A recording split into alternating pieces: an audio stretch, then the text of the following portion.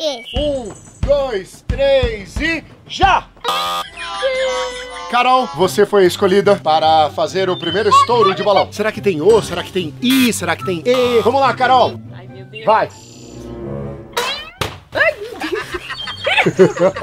Daqui, por enquanto, não dá pra saber qual letra. Eu vou estourar. Já dá pra ver alguma coisa? Isso tá parecendo um B, Tô achando que é a Ana. mas parece meio grande pra ser Ana.